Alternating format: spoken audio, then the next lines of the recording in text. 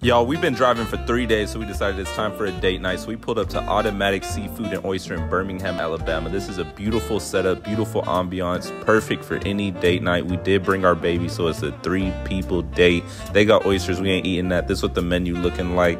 A lot of different stuff, everything about 40 to $50 a plate, some for 30 and then they got wine and beer, but we don't drink that shit. We started with the crispy fish collar with the Calabrian chili butter, y'all. What the fuck? And then we had to pair it with some yeast rolls, both recommended by our waiter, Richard. Quick prayer, let's get into it. We got our baby watching the iPad. We ain't new to this. We true to this parent shit, you dig?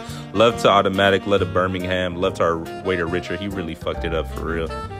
Starting off with this fucking crispy fish collar, y'all. Probably the best food I've had this entire trip. It is fine dining, so it was like a $40 plate and it better buzz, but that shit was worth it. I took the roll, dipped it in the sauce.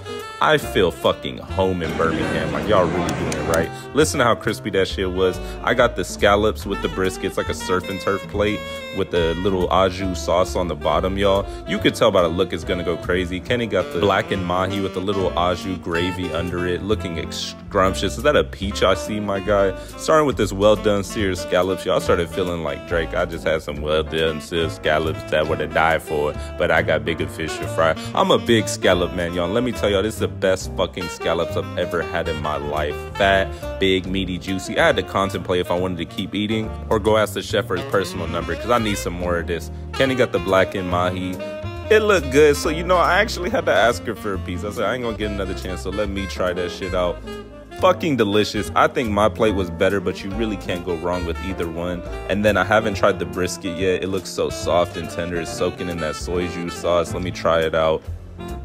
Oh my god, y'all, how does South do this? How they pack so much flavor into everything for real? And then I got a pair of surf and turf. Come on, let me surf on the turf. Y'all, best food I've had all trip. It was expensive, like 180 total, but God.